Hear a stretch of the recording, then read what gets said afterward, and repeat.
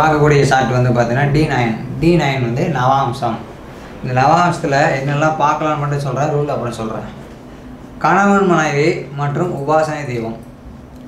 கணவன் மனைவியும் பார்க்கலாம். இதில் உபாசனை தெய்வத்தையும் பார்க்கலாம். ஒன்று அதுக்கடுத்து business partner life partner and business partner தொழில் பார்ட்னரையும் இதெல்லாம் பார்க்கலாம்னு சொல்கிறாங்க ஓகேங்களா? அதுக்கடுத்து நெருங்கிய திக் ஃப்ரெண்ட்ஸு நண்பர்களையும் இதில் பார்க்கலாம் அப்படின்னு சொல்கிறோம் அதுக்கடுத்து ஒரு தாரம் ஒரு தாரம் இரு தாரம் பல தாரம். ஒரு தாரம் இரு தாரம் பல தாரம். டைவர்ஸ் ஆகக்கூடிய அமைப்பு தாமத திருமணம் இரண்டாம் தார திருமணம். இது எப்படின்னா இரு தாரத்திலே வந்துடுது திருப்பி எதுக்கு இரண்டாம் தாரம் போட்டிருக்கோம் அப்படின்னா கல்யாணம் ஆகாத ஒரு நபர் கல்யாணம் ஆன ஒரு பெண்ணை கல்யாணம் பண்ணிக்கிறது. சரிங்களா? இது இரண்டாம் தாரமாக போகிறது அதே மாதிரி கல்யாணம் ஆகாத ஒரு பெண்ணு கல்யாணம் ஆன ஒருத்தரை இரண்டாம் தாரமாக போய் கல்யாணம் பண்ணிக்கிறது. இது இரண்டாம் தாரம். அதுக்கடுத்து காதல் திருமணம். அதுக்கடுத்து உள்ளூரில் திருமணமா வெளியூரில் திருமணமா? கணவன் மனைவியனைய குணம் மற்றும் எதிர்பார்ப்பு. இவங்க என்ன மாதிரி எதிர்பார்க்குறாங்க? அவர் எப்படி இருக்குன்னு இவங்க ஆசைப்பட்றாங்க. அந்த பொண்ணு எப்படி இருக்குன்னு இவரும் ஆசைப்படுறாரு அப்படிங்கிற மாதிரியும். அதுக்கடுத்து பெரும்பாலும் வந்து இவங்களுக்கு சூரியன் சனி சேர்க்கை சம்மந்தம் மனைவியை வந்து ஒதுக்கி வைக்கிறாங்க. அதுக்கு கணவனை ஒதுக்கி வைக்கிறாங்க. இதுக்கெல்லாம் என்ன காரணம்? அதுக்கடுத்து பெரும்பாலும் ஏழாம் பாவத்தில் சுபகிரகம் சம்மந்தப்படும் போது இருதாரத்தை கொடுக்குது. இதெல்லாம் உண்மையா எப்படிங்கிறத பார்க்கலாம். ஓகே இப்போ ஒரு சார்ட் போட்டாச்சு. இந்த சார்ட்டு நவாம்சம் டி நைன் அப்படிங்கிறது நவாம்சம். இந்த நவாம்சத்தில் என்ன அப்படின்னு பார்த்தீங்கன்னா உங்களுக்கு உங்களுக்கு ரொம்ப சிம்பிளாக எளிமையாக சொல்லும்போது லக்னத்தில் உள்ள கிரகத்தை அவங்க எதிர்பார்க்குறாங்க அப்படின்னு அர்த்தம். அப்போ லக்னத்தில் யார் இருக்கா? செவ்வாய் இருக்கா. அப்போ கணவர் எப்படி எதிர்பார்ப்பாங்க? வீரமாக இருக்கணும். கோலை இல்லாமல் இருக்கணும். சொந்த வீடு வச்சுருக்கணும். எதையும் வேகமாக செய்யணும். நல்ல அட்டுமஸ்தான உடம்பு இருக்கணும். மார்பகங்கள் தந்து எல்லாம் மார்பு எரிஞ்சிருக்கணும் ஹைட் வெயிட்டாக இருக்கணும். நல்லா அந்த மாதிரி ஜிம் பாடியாக இருக்கணும். இதெல்லாம் அந்த மாதிரி விரும்புவாங்க. கம்பல்சரி சொத்தோடு இருக்கணும் விரும்புவாங்க. அது நல்லா தெரிஞ்சுக்கங்க. ஏன்னா அந்த இடத்துல சொத்து இருக்கணும். செவ்வாய்ங்கிறது சொத்து அப்படின்னு சொல்கிறோம் அதுக்கடுத்து என்ன சொல்கிறாங்கன்னா இவளுக்கு ஒரு தாரம் அமைப்பா இரு தாரம் அமைப்பா அப்படிங்கிறத ஃபஸ்ட்டு அதை தான் கொடுத்துருக்கோம். கணவன் மனைவி உபாசனை தெய்வம் அப்படின்னு சொல்லிட்டு. அப்போ கணவனை எப்படி விரும்புகிறாங்க அந்த மாதிரி இருக்கும் இந்த கணவன் எங்கே இருந்து சார் வருவார் அப்படின்னு பார்க்கும்போது இந்த லக்னத்துக்கு நவாம்ச லக்னத்துக்கு ஏழாம் தேதி அப்படின்னு சொல்லக்கூடிய சூரியன் எங்கே இருக்கார்? பன்னிரெண்டில் இருக்கார் மறைஞ்சே இருப்பார். அப்போ இவங்க ஊருக்கு பின்னாடி ஊர்லேருந்து இவங்களுக்கு வரம் வரும். அவங்க ஊருக்கு பின்பகுதியில் உள்ள ஊர்லேருந்து இவங்களுக்கு வரன் வரும் அப்படின்னு சொல்லலாம். கம்பல்சரி அந்த கணவர் எப்படி சார் இருப்பார் அப்படின்னு சொல்லும்போது ஏழாம் தேதி போயிட்டு சூரியன் அவர் ரொம்ப கோபக்காராக இருப்பார். அந்த கோபம் இவன் குறைஞ்சா இவங்க நல்லா இருக்கும் அப்படின்னு அர்த்தம்.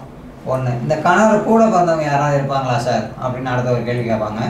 அப்படி கூட பிறந்தவங்க போது கண்டிப்பாக ரெண்டு பேர் இருக்கலாம். கணவர் கூட பிறந்தவங்க ரெண்டு பேர் இருக்கலாம் அப்படின்னு சொல்லிட்டு சொல்கிறாங்க ஏன் சார் அப்படின்னா அந்த லக்னாதிபதியோ ஏழாம் தேதியோ பார்த்த கிரகங்கள் தான் அவன் கூட பிறந்தவங்க. அப்போ இந்த இடத்துல என்ன சொல்கிறாங்கன்னா இந்த லக்னாதிபதி சனி அப்படின்னு சொல்லுவாங்க. இந்த சனியை வந்து பார்த்தீங்கன்னா எந்த கிரகங்களும் பெருசாக பார்வை செய்யலை. அப்படிங்கும்போது சந்திரன் மட்டும் தான் இங்கே பார்வை செய்யுது அப்படின்னு சொல்கிறோம் அதுக்கடுத்து வந்து பார்த்தீங்கன்னா ஏழாம் தேதின்னு சொல்லும்போது அவங்களும் யாரும் பார்வை செய்யலை. ஆனால் அந்த லக்னத்தில் உள்ள கிரகத்தை குருவும் புதனும் பார்வை செய்கிறதுனால ஒரு சகோதரியும் ஒரு சகோதரனும் இருக்கலாம் அப்படின்னு நம்ம சொல்லலாம். சரிங்களா? இப்படி தான் கணவர் கூட பிறந்தவங்களை எடுத்துக்கணும். சரி சார். கணவர் படிச்சிருப்பாரா? அப்படின்னு ஒரு கேள்வி கேட்பாங்க. அதுக்கடுத்து கணவருடைய நிலைமை என்ன சார் அப்படின்னு சொல்லி. கணவர் படிச்சிருப்பாரா? லக்னத்துக்கு ஏழாம் தேதி கூட சூரியன் கூட செவ்வாய் தான் சம்மந்தப்படுது புதனும் பார்வைக்கிறதுனால கண்டிப்பாக படிச்சிருப்பாரு. கண்டிப்பாக படிச்சிருப்பாரு. எத்தனை டிகிரி சார் வாங்கியிருப்பாரு? டிகிரி வாங்கியிருப்பாராங்கிறது கேள்விக்குறி தான். இங்கே செவ்வாய் சம்மந்தப்படுறதுனால ஏதாவது மெக்கானிக்கல் அந்த மாதிரியான அல்லது ஏதாவது. உழைப்பா உழைப்பா. இந்த ஐடி ஐடியில் ஐடிஐன்னு சொல்லுவாங்க இல்லையா? மெக்கானிக்கல் இன்ஜினியராக இருக்கட்டும் ஒரு ஹார்ட்வேராக இருக்கட்டும் மெக்கா வேறு ஏதாவது ஒரு லேத்தாக இருக்கட்டும் ஏதாவது ஒன்று உருவாக்குறது மிஷினரியை சர்வீஸ் பண்ணுறது சரி செய்யறது அந்த மாதிரி ஒரு வேலையாக இவர் கற்றுருப்பார் வாகனத்தை பற்றி நல்லா அவருக்கு தெரியும் அப்படின்னு சொல்லலாம். டிரைவிங் நல்லா தெரியும். அதே மாதிரி எலக்ட்ரிக்கல் நல்லா தெரியும். எலக்ட்ரிக்கல் சொல்கிறோம் எலக்ட்ரானிக்ஸ் எலக்ட்ரிக்கலு அதை வந்து வேலை செய்கிறது நல்லா தெரியும். இதெல்லாம் இவங்களுக்கு நல்லா வரும். அந்த துறையில் உள்ள ஒரு ஒருத்தரை இது இதே இடத்துல நாலாம் பாவம் நல்லா இருக்குது அப்படின்னு வச்சுக்கலாம். அப்போ அரசு உத்தியோகத்தில் இபி உள்ள வரன் வரும் அப்படின்னு நம்ம சொல்லலாம். ஒரு வரன் எப்படி வருதுங்கிறதுக்கு இது ஒரு உதாரணம்.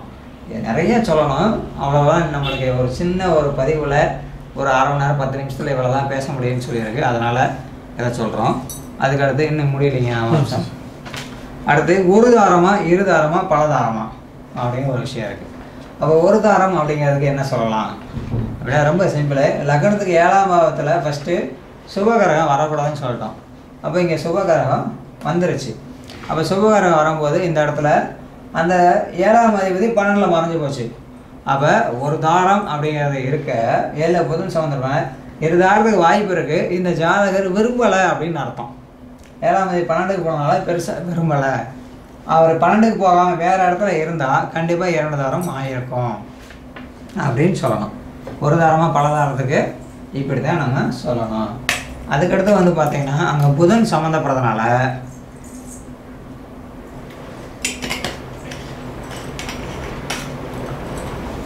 பெரும்பாலும் இந்த ஜாதகையோட ஏழில் நவாம்ச ரகத்தை நான் சொல்லியிருக்கேன் எல்லா ராசி சாட்லேயே சொல்லியிருக்கேன். ஏழில் புதன் சம்மந்தப்படும் ஆப்போசிட் நபருக்கு ஆண்மைத்தன்மை குறைவாக இருக்கும். ஆணாக இருக்கட்டும் பெண்ணாக இருக்கட்டும் யார் வேணாலும் இருக்கட்டும். பெண்ணாக இருந்தால் பெண்மைத்தன்மை குறைவாக இருக்கும். அந்த செக்ஷுவல் உணர்வே வராது. சும்மா கல்யாணம் பண்ணி வச்சு அழகாக இருந்து மட்டும் என்ன பண்ணுறது சரிங்களா? அப்போ நீங்கள் அதெல்லாம் இதை பார்க்கணும். இப்போ ஏழாம் பாவத்துக்கு கூட புதன் சம்மந்தப்படும் போது இப்போ வரனுக்கு நிறைய பேர் வரன் பார்க்கும் போதெல்லாம் இந்த நவாம்சத்தில் ஏழாம் பாவத்துக்கு புதன் இல்லாமல் பார்க்குறேங்க. புதன் இருந்ததுன்னா அந்த செக்ஷுவல் உணர்வே வராது. உணர்வே இல்லாட்டி தாம்பத்தியம் இல்லை. தாம்பத்தியம் இல்லாட்டி கணவன் சண்டை வருது. அதுக்கடுத்து குழந்தை இல்லை. அதனால பிரச்சனைகள் வருது ஊரில் நிறைய குழந்தை இல்லை அப்படின்னால அந்த பொண்ணை கல்யாணம் பண்ணிட்டு டைவர்ஸ் பண்ணிட்டு வேற பொண்ணை கல்யாணம் பண்ணிக்கிற மாதிரி இருக்காங்க. அப்போ இதெல்லாம் திருமணம் பார்க்கும்போது நீங்கள் இந்த அளவுக்கு டெப்த்தாக பார்க்கணும் அப்படின்னு அர்த்தம். அப்போ ஒரு தாரம் ஆண்மை குறைவு இருக்குன்னு சொல்லிட்டோம்.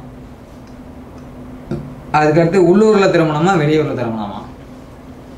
இப்போ ஏழாம் தேதி பன்னெண்டில் இருக்கிறதுனால கண்டிப்பாக இது வெளியூரில் தான் திருமணம். உள்ளூரில் திருமணம் கிடையாது அப்படின்னு நம்ம சொல்லிடலாம்.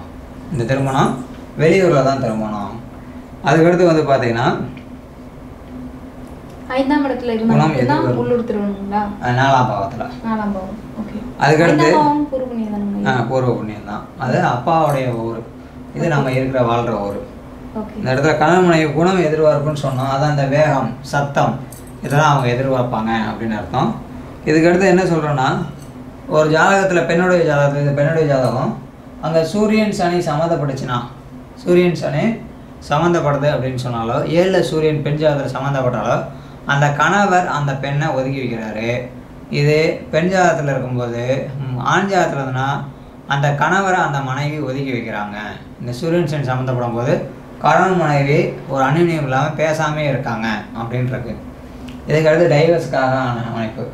இப்போ டைவர்ஸ்க்கு என்ன சொல்கிறோம் அப்படின்னா ஏழாம் அதிபதி கூட ராகு கேதுகள் சம்மந்தப்படணும் நவாம்சத்தில். ஏழாம் அதிபதி கூட ராகு கேது சம்மந்தப்பட்டு செவ்வாய் சனி பார்வை இருந்ததுன்னா அவங்களுக்கு பெரும்பாலும் டைவர்ஸ் ஆகுது. அதுக்கடுத்து பெண் ஜாதகமாக இருந்தால் செவ்வாய் கூட கேதுக்கு சம்மந்தப்பட்டு ஆண் ஜாதகம் இருந்தால் சுக்கிரன் கூட கேது சம்மந்தப்பட்டு நவாம்சத்தில் இருக்கும்போது பெரும்பாலும் அவங்களுக்கு டைவர்ஸ் தருது அப்படின்னு அர்த்தம். அப்போ அதையும் நீங்கள் பார்த்துக்கணும். முக்கியமான விஷயம். இப்போதான் நீங்க வந்துட்டு ரொம்ப ரொம்ப இப்போ டிவோர்ஸ் அப்படின்னு பார்க்கும்போது ரொம்ப கொஞ்சம் ஆழ்ந்து பார்க்கணும். என்னன்னு பார்த்தீங்கன்னா பன்னெண்டில் இருக்காரு ஓகே மற்ற இடத்துல கூட இருக்கட்டும். இதே இடத்துல இருக்காரு அப்படின்னா இப்போ வந்துட்டு நல்ல ஸ்தானத்தில் தானே இருக்காரு அப்படின்னு ஆனால் சுவாதியில இருக்கும்போது அப்படின்னு பார்க்கணும். இந்த இந்த சுச்சுவேஷனில் தான் ராகு கேதுவோடைய சாரத்தில் அமர்ந்திருக்காங்களா? ஏழாம் அதிபதி அப்படின்னு பார்க்கணும். ஒருவேளை ராகு கேதுவோடைய சாரத்தில் அமர்ந்துட்டா அதுவுமே டிவோர்ஸில் தான் போய் முடியுது. ஓகேங்களா வந்து பார்த்தீங்கன்னா இங்கே கும்பத்தில் வந்து சதய நட்சத்திரம் இருக்குது அப்போ ராகுடைய சாரம். அப்போ பொதுவாக இதை சிம்பிளாக எப்படி பண்ணலாம் அப்படின்னா ராகுடைய சாரத்தில் இருக்கா பெண் சாரத்துலனா அந்த செவ்வாய் பெண் ஜாரத்தில் இருக்குன்னா அவங்களுடைய பல்லு அப்படியே எத்துப்பல் மாதிரி இருக்கும். லைட்டாக எத்துப்பல் இருந்ததுன்னா அது ராகு சாரத்தெல்லாம் இருக்குது இது எந்த வித மாற்றமும் இல்லை. பல் மட்டமாக உள்ளே போய் இருந்ததுன்னா கண்டிப்பாக வந்து அவங்களுக்கு எத்துப்பல் இல்லை அப்படின்னா செவ்வாய் ராகுவோட சாரத்தில் ஆவிட்டத்துலேயோ அல்லது புரட்டாதிலே இருக்குன்னு சொல்லி ராகு சாரத்தில் லைட்டாக எத்துப்பல் வந்துடும் அந்த உதட வெளியே தெரியுது தெரியும் இல்லையா? இதெல்லாம் நீங்கள் பெருசாக யோசிக்க வேண்டியதில்லை. அந்த மாதிரி இது நிறைய நம்ம அனுபவத்தில் வந்து நிறைய விஷயங்களை நம்ம கேதர் பண்ணி வச்சுருக்கோம். ஒருத்தரை பார்த்தாலே இவங்க கிரகாமைப்பு இப்படி தான் இருக்கும் அப்படின்னு நம்ம சொல்லுவோம். அதனால் அந்த மாதிரிலாம் இருக்கத்தான் செய்யுது. அப்போ நவாம்சத்தில் நீங்கள் என்னெல்லாம் பார்க்கலாம் அப்படின்னா திருமணம் எப்போது அமையும்? ஃபஸ்ட்டு அதுக்கடுத்து வந்து பார்த்திங்கன்னா திருமணம் எந்த திசையில் அமையும்? திருமணம் பண்ணக்கூடிய நபர் உள்ளூரில் இருப்பாரா வெளியூரில் இருப்பாரா? அதுக்கடுத்து வந்து பார்த்திங்கன்னா திருமணத்தினுடைய வரனுடைய எதிர்பார்ப்பு கல்வி நிலையம் அறிவு ஹால் ஹைட் வெயிட்டு இதெல்லாம் எப்படி? அதுக்கடுத்து வந்து பார்த்தீங்கன்னா திருமணத்துக்கு முன்னாடி அவருக்கு ஆண்மை இருக்குமா? அதுக்கடுத்து கணவன் மனைவி பிடிச்சு வாழ்வாங்களா? அப்படிங்கிறது. அப்போ இந்த இடத்துல இதெல்லாம் பார்த்துட்டோம். திருமணம் தாமதமாக இளமையில முதுமையில அதை மட்டும் பார்க்கல. இந்த இடத்துல என்ன சொல்கிறோன்னா கம்பல்சரி செவ்வாசனை சேர்க்கை பார்வை உள்ளவங்களுக்கு பெரும்பாலும் வந்து பார்த்தீங்கன்னா நவாம்சத்தில் செவ்வாசனை சேர்க்கை பார்வை உள்ளவங்களுக்கு இளமையில தான் திருமணம் ஆகுது. இளமையில் திருமணம்னா இருபத்தோரு வயசுலேருந்து இருபத்தி மூணுக்குள்ளே ஆகுது. அப்படின்னு சொல்கிறாங்க சரிங்களா? ஒன்று அதுக்கடுத்து வந்து பார்த்தீங்கன்னா இந்த ஏ- ஏழாம் அதிபதி அப்படின்னு சொல்லக்கூடிய ஒரு லக்னத்தோட சம்மந்தப்படும் போதும் பெரும்பாலும் வந்து இளமையில் திருமணம் ஏழாம் இடத்த சனி பார்த்தாலோ ஏழாம் அதிபதியை சனி பார்த்தாலோ முதுமையில் திருமணம் ஏழாம் இடத்த சனி பார்த்தாலோ ஏழாம் அதிபதியை சனி பார்த்தாலோ முதுமையில் திருமணம் அப்படி இருக்கும்போது இவங்க எதுவும் அந்த மாதிரியான அமைப்பு இல்லை. அப்போ இது இளமையில் திருமணம் தான். அப்படின்னு அர்த்தம். லவ் அப்படின்னு வரணும்னு சொன்னால் ஏழாம் பாவத்து கூட அஞ்சாம் பாவம் கனெக்ட் ஆகணும்.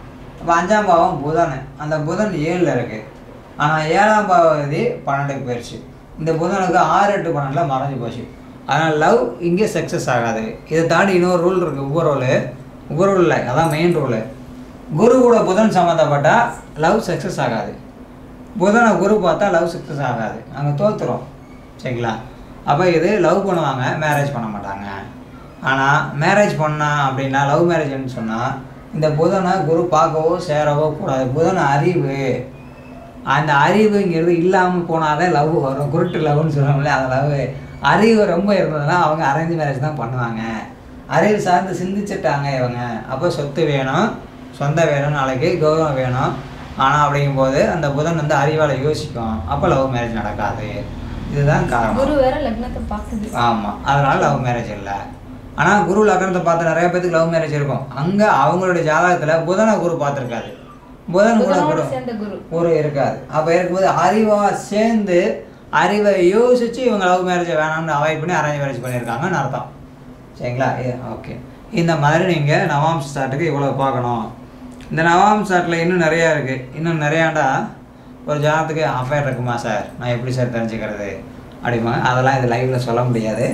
அது சம்மந்தமாக என்ன தனியாக அப்பாயின்மெண்ட் பார்த்துக்கலாம். இந்த மாதிரி வர்க்க சக்கரங்களை வந்து நம்ம தனியாக வகுப்பாக எடுத்துகிட்டு இருக்கோம் மார்ச் ஏழாம் தேதி ஜூம் வகுப்பு. கலந்துக்கணும்னு விருப்பப்படுறவங்க இவ்வளோ டீட்டெயிலாக இன்னும் விரிவாக நம்ம வகுப்பில் பார்க்க போகிறோம் வகுப்பில் இப்போ என்னெல்லாம் பார்க்க போகிறோங்க இது ஒரு இன்ட்ரடக்ஷனாக தான் இது பண்ணுறேன் இதுலேயே இவ்வளவு சொன்னால் வகுப்பில் பதினஞ்சு நாள் வகுப்பு. எவ்வளோ சொல்லுவேன்னு பார்த்துக்குங்க. ஒரு கிளாஸுக்கு இரநூறுபா தான் ஃபீஸு பதினஞ்சு நாளைக்கு சேர்த்து மூணாயிரம் ரூபாய் தான். விருப்பப்படுறவங்க கலந்துக்கலாம். நைட் ஈவினிங் எட்டு டு ஒம்பது தான். இன்னொரு விஷயம் என்னென்னு கேட்டிங்கன்னா கம்பல்சரி வகுப்போட வீடியோ ரெக்கார்டிங் உங்களுக்கு கொடுத்துருவோம். அதெல்லாம் அது ஈஸியாக இருக்கும். நீங்கள் பயன்படுத்திக்கலாம். ஓகே அடுத்து முக்கியமாக தசாம்சம்.